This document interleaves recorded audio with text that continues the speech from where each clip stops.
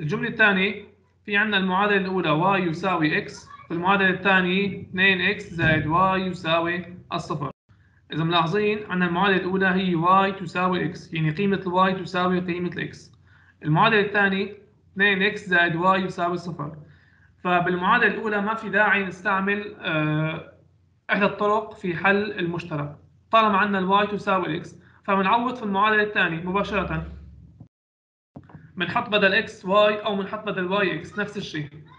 لو عوضنا آه، بدل y x في المعادلة الثانية. طالما عندنا في المعادلة الأولى ال x تساوي ال y بنعوض في المعادلة الثانية بدل y بنحط x بتصير المعادلة 2 إكس زائد إكس يساوي صفر. اذا 3 x تساوي صفر يعني x تساوي الصفر. فقيمة ال x تساوي الصفر. مثل ما شفنا في المعادلة الأولى في عندنا آه، ال y تساوي ال x فكمان راح تكون ال y أيضا تساوي الصفر. فالحل المشترك هو النقطة صفر صفر اللي هي مبدأ الاحداثيات. طبعا هذا الشيء واضح من البداية. بالمعادلة الأولى في عندنا y و x ما في عندنا رقم ثابت.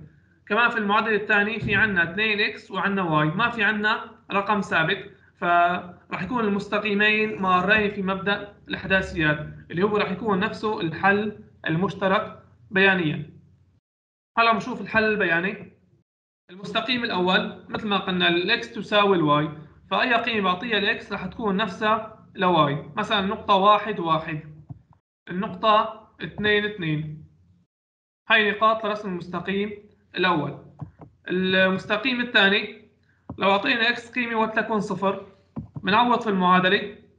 راح تصير y تساوي ناقص 2 ضرب صفر يعني ناقص 2 بصفر صفر. النقطة الثانية لو أعطينا x قيمه ولتكن واحد ناقص 2 في واحد راح تساوي ناقص 2 هاي النقطة الثانية. نرسم المستقيمين على مستوى الحداثيات.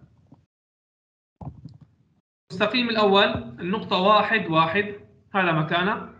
النقطة الثانية اثنين اثنين. هذا مكان النقطة الثانية. بنوصل بيناتي نحصل على المستقيم الأول. المستقيم الثاني آه، في عندنا النقطة صفر صفر اللي هي المبدأ والنقطة الثانية واحد ناقص اثنين. واحد على الإكس على القسم الموجب وناقص اثنين على الواي على القسم السالب. هذا مكان النقطة الثانية.